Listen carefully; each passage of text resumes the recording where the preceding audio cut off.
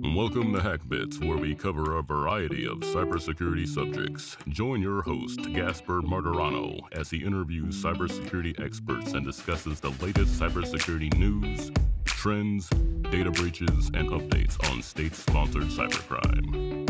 Okay, welcome everyone to uh, this edition of Hackbits. Uh, really happy today to have someone that's uh, not only super smart and knows what they're talking about, but just a really good person. So, uh, Justine, it's really a pleasure to have you here on the show. Uh, so, why don't you tell us a little bit about yourself? Thank you so much. Um, an attorney at the law firm DLA Piper, San Diego native, and I specialize in cyber law, which is a combination of proactive and reactive cybersecurity services. Um, so, yeah, that's that's uh, who I am and what I'm passionate about. Um, but thank you again for hosting. This is going to be a lot of fun. Yeah, I'm really excited. So, so tell me a little bit. I always like to find out kind of the background. Tell me a little bit about your story. When did your interest in technology and even cyber kind of start? Where where was the fire started before it, it grew into what it is today?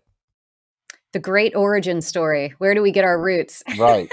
so, I, you know, going back early old school days uh, when PCs were not a thing in somebody's house, um, I was about five, and my parents invested in an Apple IIe computer. And I had three older brothers who were total computer geeks. I mean, you know, Dungeons and Dragons uh, types, and uh, and I watched them uh, use this computer and take it apart and be in their kid sister. I was just really interested in uh, the process, and it was. You know, I like new things. I like emerging uh, technologies, and it probably started back in you know the the early 80s if i'm revealing too much about my age so and then and then later on when when uh, when you were in law school what what was kind of your exposure to, to systems then because i know you know people ask me that question sometimes and i i always like to bring up oh we didn't you know back in my day we didn't have you know color screens and you know we had the giant monitors and not these flat beautiful flat screens we see today. So how was it then from uh, college to law school? What was kind of your exposure at that point?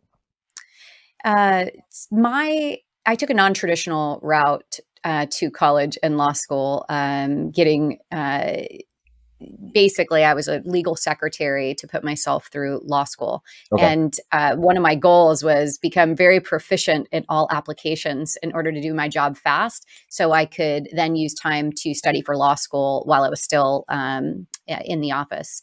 So uh, really, it was necessity being the mother of all invention, as always. And um, my practice when I first started as a summer associate at a law firm the federal rules of civil procedure had just been um, proposed. And so that was early days at eDiscovery. And because I had some proficiency in Word and Excel and at the keyboard, and uh, you know, I think this is generally true, is they people think of younger attorneys as being somewhat of digital natives. And during that time in the legal industry, there was definitely a, a, disconnect between people who understood how computers worked and those that did not.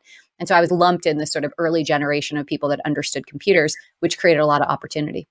So when when you started uh, working in cyber and law, so tell me a little bit about that, and then how that transitioned to what you do now, and what the practice kind of focuses on today it's changed. When I first started practicing cyber law, people thought I was um, insane. so there was uh, I, we used to have these great parties, and there was um, these these big martini luges, and it was cyber uh, in San Diego, and and so um, I used to put on my name tag that I was a cyber tourney, mm-hmm. um, mm-hmm. riffing off of uh, the martini. But um, they, you know, people didn't know what it was, and there probably wasn't anything. But my practice was really focused on uh, cyber as it practically related to the business enterprise and that intersection with crime. Um, so it was for me, I was tracking a lot of what the FBI was doing around um, cyber forensics, using that same language and terminology in the law. And at that time, you know, it was a lot of folks were talking about you know privacy and very focused uh, in the law on the privacy regulations. And mine, mine was a little bit different. It was more of the hardware and the operating systems that companies were using and what were the risks associated with using them um, versus the benefits. And that that i think is really carried through uh, the last decade or so in my in my practice. And did you notice? Because I know early on when it came to technology, especially in businesses, they didn't did not want to make big investments, right, in security. Uh, I think that they always it was it's not going to happen to us, or especially small businesses. They wondered, well, why who would want to hack into our systems? So they didn't put a lot of emphasis on really, you know, they had an antivirus program and thought that was enough. Um, so you've kind of seen the transition from hey, it, it can't happen to me to oh no, what if it happens to me? And then and then God forbid when it does happen, what do you do from there? So it's great that you've seen that kind of that life cycle happen. It's been, must have been interesting to watch. Yeah, it's really interesting. Uh, budget, obviously, uh, being in the business and being a service provider in the business, because really that's what legal is: is we serve clients and customers, and it is always been interesting to me once an event happens um, that budget opens up a lot more and you sensitize the board and the executive leadership team as to the importance of being uh, more proactive and sort of the, the actual costs and financial risk associated with the breach. But um, the when you don't have a breach and you're trying to appeal to hearts and minds that this is an investment you should make and here's why that amount was very small. And laws didn't do a great job of creating these incentives to actually put programs in place to reduce cyber risk. Um, you know, you had this these laws that said you have to keep data secure and you have to use reasonably secure uh, practices, but there was nothing that said you have to have a CISO or you have to have endpoint threat detection or you have to have firewalls or you have to segment your systems. There was nothing specific. And, and in fact, there still isn't, right? I mean, we have regulations, we have frameworks, but there's nothing that specifically calls out and says you have to do this. And so companies were really left to their own risk understanding and awareness to make these decisions. And as we've seen in headlines, they don't always make the right decision until it's right. too late. Well, yeah, that brings me to my next question. So, you were involved in one of the largest breaches about 10 years ago. So, do you see any stark differences of kind of what, you know, what a breach looked like then? And this is, you know, 10 years seems like a lifetime in technology into what kind of happens today. Uh, you know, tell me a little bit about that experience and how do you think it's evolved to some of the things that you currently see happening in the in, in the in, with organizations? Isn't it amazing how quickly technology changes? I mean, during that breach, I don't even think iPhones existed to communicate. So I think I probably had even a BlackBerry at that time in my life and my mm-hmm. career. I, the Motorola uh, flip phones, those RAZRs were very popular back in the day. oh, I definitely had the flip phone. Um, I probably even had a pager. I mean, that's yeah. how old school this gets. Right. Um, but when we think about like the technology, yes, I mean, the the threat vectors have gotten more numerous because we have a lot more connected devices. So right. I'll first say that the type of threat activity that we respond to now is a lot different. Um, then it was really more of we have a either crown jewel crown jewels of our organization. This is where we put mm-hmm. our secret sauce, our most proprietary information source mm-hmm. code and that's always been somewhat protected right? The the pepsis and the mcdonald's of the world do a really good job of securing that that secret uh, information. Then it was really the data privacy component where we have consumer data and this is financial information or social security numbers. And so um, 10 years ago that was the focus as we were looking specifically at the databases and maybe putting some security around that right. but maybe there wasn't that same sort of appetite for for implementing security enterprise wide right. what we see now is the sophistication of the threat actor is obviously um, much higher. There's a lot of use of um, I'll call it artificial intelligence, but I think you know that's a that's a loosey goosey word right. to use. I think this is um, automated type of threat activity that's happening happening, making it easier um, for the low hanging fruit to be picked. Um, so what we've seen is um, that the types of security that are baked into programs um, and starting, you know, big picture enterprise wide in the technology.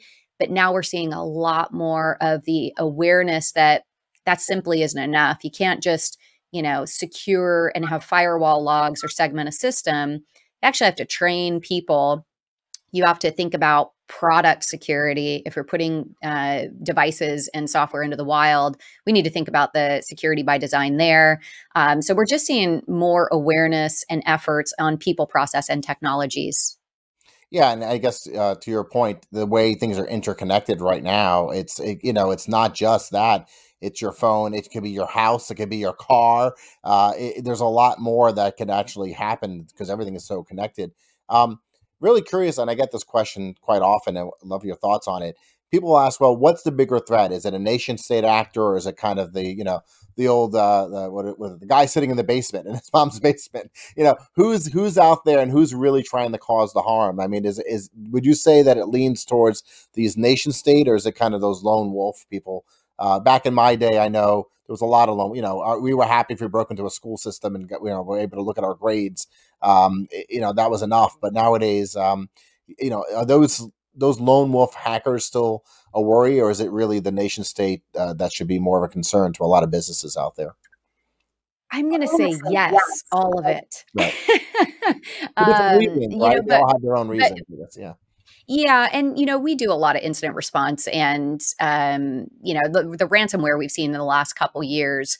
This isn't a lone warrior, right? This is this this is ransom as a service. This is right layers and layers of criminal activity that got to the point of somebody extorting a company for you know money so I don't think it's lone warrior, and I don't think it's nation state actors um, per se. Now, whether they're funded by nation state actors, mm. That could be.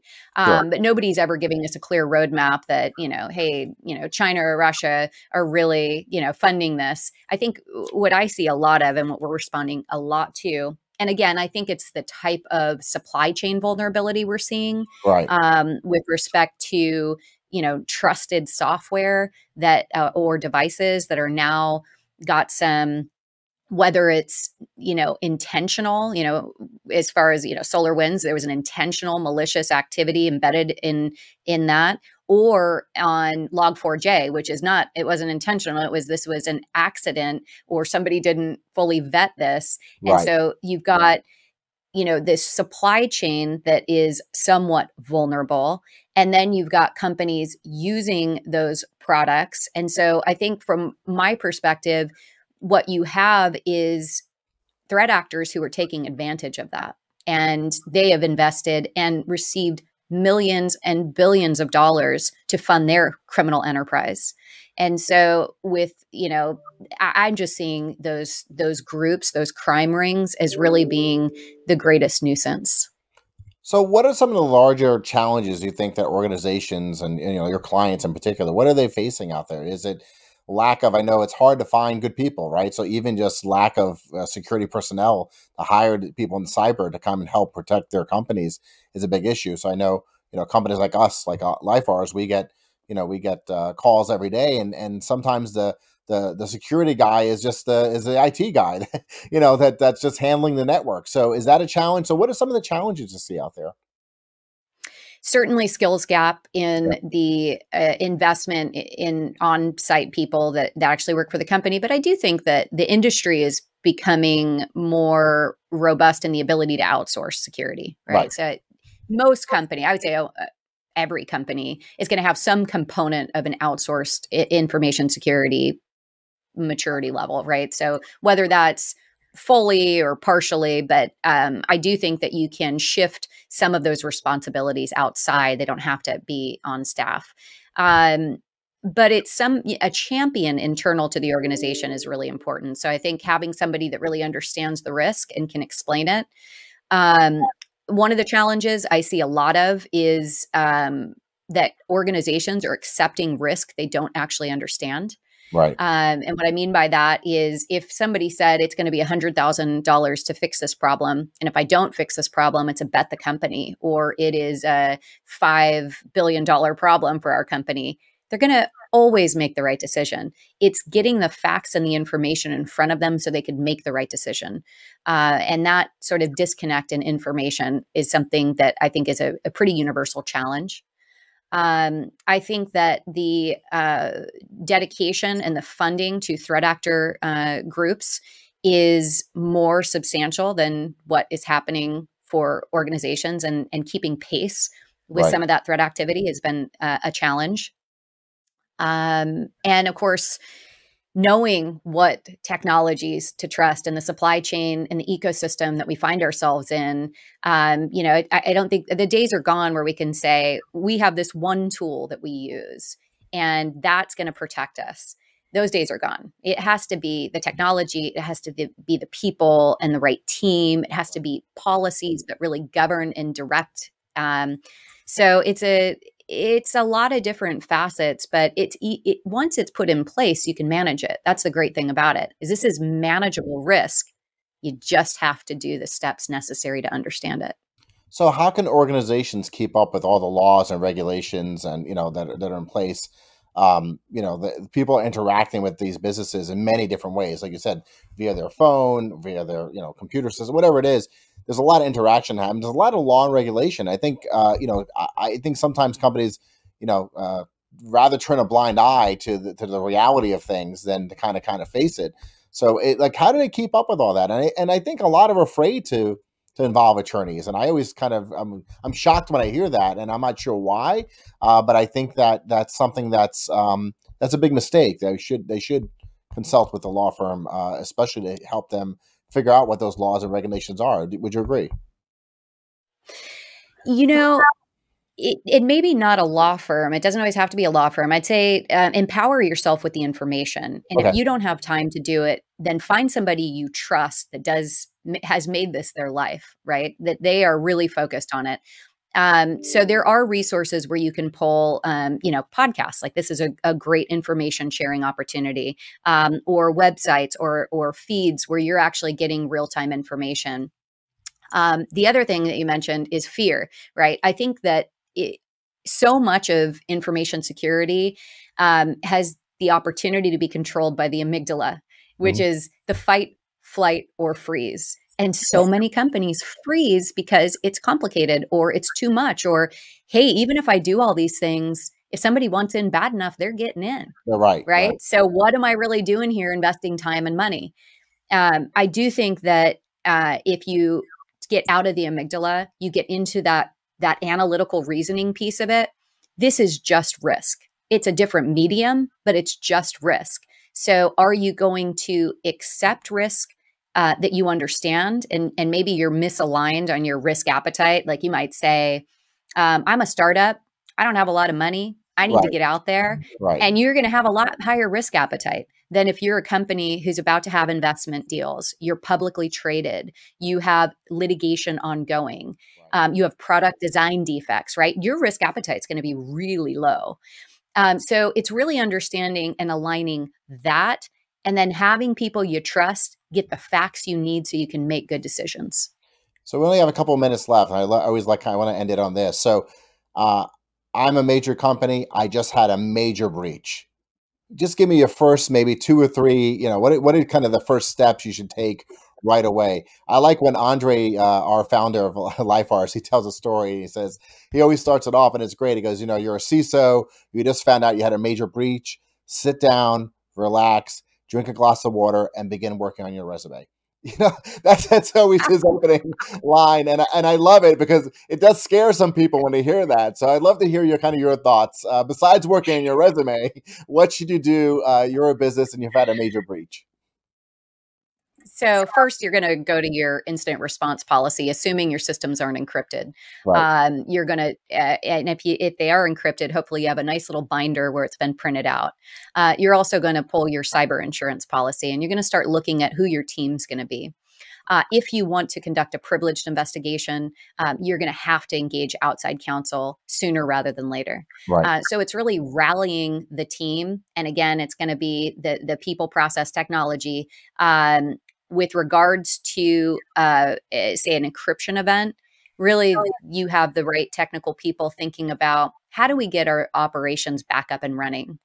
And you've got legal thinking about how are we investigating this? Um, and sometimes those are overlapping and sometimes they're at odds.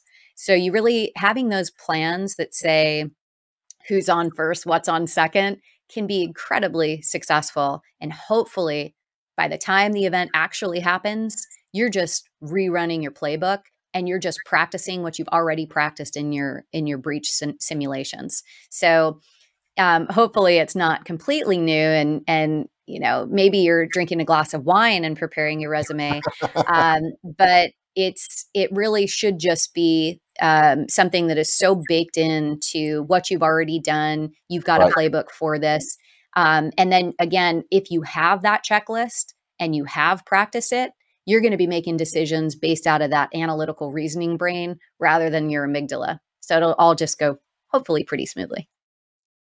It was such a pleasure speaking with you. I, I love it. Hopefully, you come back again. We can uh, maybe dive a little deeper in some other topics. But it's been a great, uh, great time chatting, and hopefully, people find this valuable because I, I, I did. I always, I always enjoy uh, speaking to different people in the industry, and you've been, you've been fantastic. Thank you so much. Thank you so much for the opportunity and for helping companies really understand these issues in a, in a way that they can relate to. So, thank you for that. Thank you. Take care.